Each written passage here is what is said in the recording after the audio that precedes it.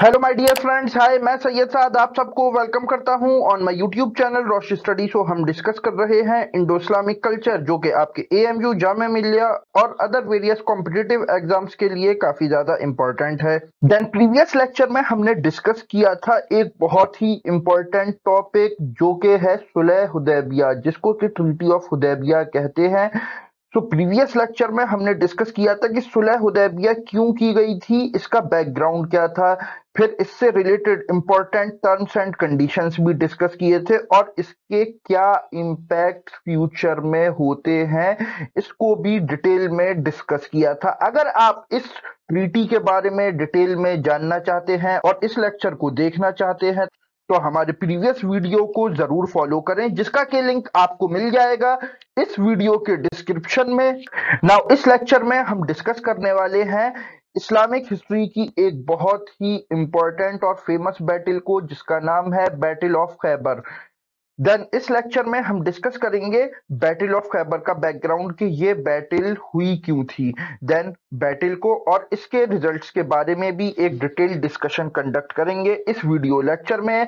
तो ये लेक्चर अगर आपको अच्छा लगे तो इस वीडियो को आप लाइक करें शेयर करें कमेंट करें और इसी तरह के इंफॉर्मेटिव कंटेंट के लिए सब्सक्राइब करें to our YouTube channel but हमेशा की तरह लेक्चर स्टार्ट करने से पहले आप लोगों के लिए एक क्वेश्चन और आपका सवाल है कि हज़रत मोहम्मद सल्लल्लाहु अलैहि वसल्लम के किस कंपेनियन को, किस सहाबी को जिल नूरैन का टाइटल दिया गया था? इसके लिए आपके ऑप्शंस हैं ए हज़रत अबू बकर रज़ी अल्लाह तु बी हज़रत उमर रज़ी अल्लाह तु सी हज़रत उस्मान रज़ी अल्लाह तु या फिर डी हज़रत अली रज़ी अल्लाह तु कमेंट सेक्शन आपका है, इसका राइट आंसर वहाँ पर लिखो। हमेशा की तरह इसका सही आंसर मैं आपको बताऊँगा इस लेक्चर के लास्ट में। तो चलिए हम स्टार्ट करते हैं आज का अपना topic show stay with us because there is a lot to know a lot to discuss so let's start my friend सबसे पहले हम जो डिस्कस करने वाले हैं वो है बैटल ऑफ़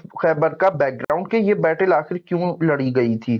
जैसा कि मैं आपको प्रीवियस लेक्चर्स में बता चुका हूँ about the tribal structure of Medina मदीने में बेसिकली मदीने में बेसिकली पाँच बड़े ट्राइब्स थे, जिसमें से के दो ट्राइब्स थे अंसार के और ये थे औस एंड खजरज और तीन ट्राइब्स थे जीवस के, यहूदियों के, जो के थे बनु कैन का, बनु नजीर, बनु कुरैजा और जो औस के लीडर थे वो थे हज़रत साद बिन माज रज़ी अल्लाह तला और जो खजरज ट्राइब था इसका लीडर था अब्दुल्ला इब्ने उबई, जो के जो के एक हिपोक्रेट मुस्लिम था, यानी कि मुनाफिक था। उसने बजाहिर तो इस्लाम कबूल कर रखा था बट वो अंदर ही अंदर मुसलमानों की जड़ें काटने पर लगा रहता था। और जब बैटल ऑफ़ ट्रेंच हुई थी, जो कि हमने सुलह हुदैबिया से पहले डिस्कस की थी तो मैंने आपको वहाँ पर बताया था कि बनु कुरैजा, जो कि ज्यूज का एक ट्राइब था, उसने प्रॉफिट मोहम्मद सल्लल्लाहु अलैहि वसल्लम के साथ और मुनाफिकों के साथ मिलकर गद्दारी की थी,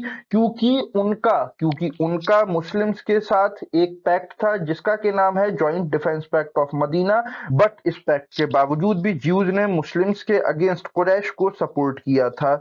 देन जिसके रिज़ल्ट में प्रॉफिट मोहम्मद सल्लल्लाहु अलैहि वसल्लम ने बनु कुरैजा को भी मदीने से निकाल दिया था। देन बनु कुरैजा को मदीने से निकालने के बाद मदीने में अब कोई जूश ट्राइब नहीं था। और ये सारे ट्राइब्स जाकर बस गए थे इन द खैबर। देन आप कहोगे कि वेट वेट वेट खैबर तो हमने पाकिस्तान में सुना है।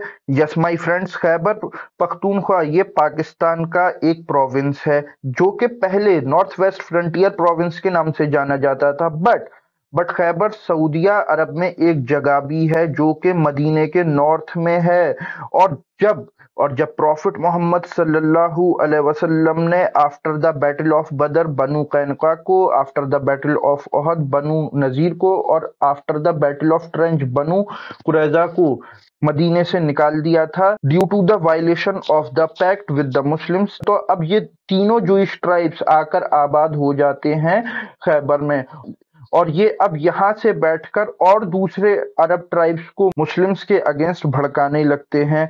तो जब प्रॉफिट मोहम्मद सल्लल्लाहु अलैहि वसल्लम ट्रीटी ऑफ़ हुदैबिया कर लेते हैं with the Quraysh with the Meccans, और मक्कन्स प्रॉफिट मोहम्मद सल्लल्लाहु अलैहि वसल्लम के साथ इस बात पर राज़ी हो जाते हैं कि अब से हम आपके अगेंस्ट दस साल तक कोई जंग नहीं करेंगे। तो प्रॉफिट मोहम्मद सल्लल्लाहु अलैहि वसल्लम उसके बाद अपना रुख करते हैं खैबर की तरफ़ बिकॉज़ अब कुरैश इनकी मदद के लिए नहीं आ सकते थे, जैसा कि इस प्रीवियस जंगों में होता रहा था। बट नाउ अब सुलह हुदैबिया के हो जाने के बाद प्रॉफिट मोहम्मद सल्लल्लाहु अलैहि वसल्लम ये जानते थे कि कुरैश अब चाहकर भी जीवस की मदद नहीं कर सकते। इसी वजह से इन 628 एडी प्रॉफिट मोहम्मद सल्लल्लाहु अलैहि वसल्लम एक मिलिट्री कैंपेन लॉन्च करते हैं और मिलिटरीली जीवस को एंगेज करने की यहाँ पर स्ट्रेटजी बनाते हैं। तो इसी बात को ध्यान में रखते हुए प्रॉफिट मोहम्मद सल्लल्लाहु अलैहि वसल्लम एक आर्मी लीड करते हैं। टूवर्ड्स खैबर और खैबर का जाकर सीज कर लेते हैं, मुहासरा कर लेते हैं, उसे अपनी घेरेबंदी में ले लेते हैं। बट जो खैबर था, ये काफ़ी ज़्यादा स्ट्रॉन्ग फोर्ट माना जाता था, क्योंकि ज्यूज के पास यहाँ पर काफ़ी ज़्यादा फ़ूड और सप्लाईज थे, और वो देर तक मुसलमानों का मुकाबला कर सकते थे।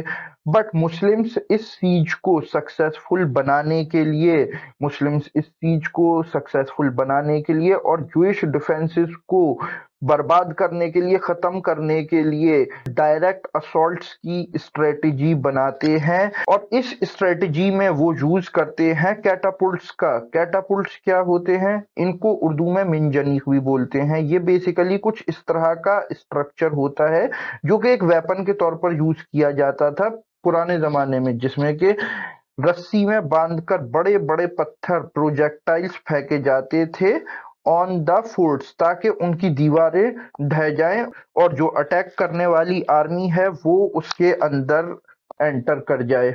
देन मुस्लिम्स एक बेहतरीन बैटल स्ट्रेटजी के साथ खैबर के जो सबसे ज़्यादा स्ट्रॉन्ग फोर्ट्रेस कंसीडर किए जाते थे, उनको एंगेज कर लेते हैं और ये फोर्ट्स थे नाइम, कामोस और अलवती के। तो मुस्लिम्स के डायरेक्ट असोल्ट के रिज़ल्ट में जो जीव्स के डिफेंसेस थे, वो बर्बाद हो जाते हैं और मुस्लिम्स सक्सेसफुली एंटर कर जाते हैं इन दीज फोर्ट्स जिसके रिज़ल्ट में जो जीव्स ट्राइब्स थे, वो सरेंडर कर देते हैं in front of the Muslims और फिर जीव्स मुस्लिम्स के साथ एक पीस ट्रीटी करते हैं। और ये जो ट्रीटी थी, इस ट्रीटी के अकॉर्डिंग ज्यूज खैबर का पूरा कंट्रोल मुस्लिम्स को सौंप देते हैं। इसके अलावा इसके अलावा जो उनका एग्रीकल्चरल लैंड था, उसमें से भी, उसकी प्रोड्यूस में से भी कुछ शेयर मुस्लिम्स को यहाँ पर देने के लिए मान जाते हैं। बट मुस्लिम्स यहाँ पर जो टर्म्स एंड कंडीशंस थी, वो बहुत ज़्यादा हार्श नहीं रखते हैं। और इसके रिटर्न में मुस्लिम्स अब ज्यूज ट्राइब की प्रोटेक्शन अपने हैंड्स में ले लेते हैं। अच्छा ये जो खैबर के यहूदी थे, ये काफ़ी ज़्यादा वेल्दी थे, अमीर थे। इनके पास सोना चांदी काफ़ी ज़्यादा था। तो जब तो जब मुस्लिम्स ने इनको हरा दिया। और ये सारी दौलत मुस्लिम्स के हाथ में लगी तो प्रॉफिट मोहम्मद सल्लल्लाहु अलैहि वसल्लम ने इसको मुस्लिम्स में बांट दिया, जिसके नतीजे में हम ये देखते हैं कि जो खैबर की विक्ट्री थी, वो मुस्लिम्स की पोजीशन को काफ़ी ज़्यादा सॉलिडिफाई कर देती है इन द अरेबियन पेनिनसुला और काफ़ी हद तक उनका इन्फ्लुएंस बढ़ जाता है, क्योंकि अब मुस्लिम्स काफ़ी ज़्यादा इकोनॉमिक स्टेबल हो चुके थे after the battle of Khyber so battle of Khyber के थ्रू प्रॉफिट मोहम्मद सल्लल्लाहु अलैहि वसल्लम ने क्या गोल्स अचीव किए? तो बैटल ऑफ़ खैबर मुस्लिम्स के लिए न सिर्फ़ एक सिग्निफिकेंट मिलिट्री विक्ट्री थी, बल्कि इसने मुस्लिम्स को फाइनेंशियली भी काफ़ी ज़्यादा स्टेबलाइज कर दिया था। फिर इसके अलावा ये भी देखा गया कि यहूदी जो कि मुसलमानों से हार चुके थे, यहाँ पर मुसलमानों ने उनके हार जाने के बावजूद भी पीसफुल और जस्टिस पर बेस्ड टर्म्स एंड कंडीशंस पर ही एग्रीमेंट किया और उनको अपनी प्रोटेक्शन में ले लिया। और ये एग्रीमेंट आगे चलकर बेस बना और दूसरे ट्राइब्स को इस्लाम की तरफ़ बुलाने के लिए, क्योंकि सब ट्राइब्स ने ये देखा कि मुस्लिम्स जबकि इस जंग में जीत चुके हैं, फिर भी वो इक्विटेबल टर्म्स एंड कंडीशंस पर यहूदियों के साथ मुआहिदा कर रहे हैं, एग्रीमेंट कर रहे हैं। सो बैटल ऑफ़ कैबर इसी वजह से एक टर्निंग पॉइंट बन गई और मुस्लिम्स का यहाँ पर कंसोलिडेशन होने लगा और अब इस्लामिक रियासत थी, जो कि स्टेट ऑफ़ मदीना थी, वो एक्सपेंड करने लगती है।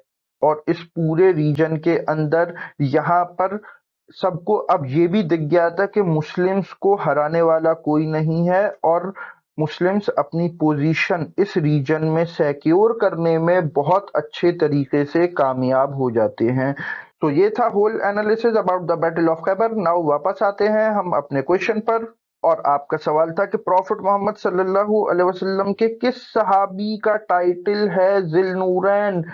और इसका राइट आंसर है सी हज़रत उस्मान। यस माय फ्रेंड्स हज़रत उस्मान को प्रॉफिट मोहम्मद सल्लल्लाहु अलैहि वसल्लम की दो बेटियों से शादी करने की वजह से हज़रत रुकैया और हज़रत कुलसुम की शादी हुई थी विद हज़रत उस्मान रज़ी अल्लाह तला इसी वजह से इनको टाइटल दिया गया था जिल नूरैन नेक्स्ट लेक्चर में हम डिस्कस करने वाले हैं about the battle of Mutah जहाँ पर के हम बैटल ऑफ़ मुता से रिलेटेड उसकी वजूहत जानेंगे बैटल कैसे हुई, ये डिस्कस करेंगे, और इस बैटल के क्या रिजल्ट्स हुए। तो अभी के लिए बस इतना ही। अगर ये लेक्चर आपको अच्छा लगा हो तो इस वीडियो को लाइक करें शेयर करें कॉमेंट करें, और इसी तरह के इन्फॉर्मेटिव कंटेंट के लिए सब्सक्राइब करें to our YouTube channel now I am Syed Saad signing off okay bye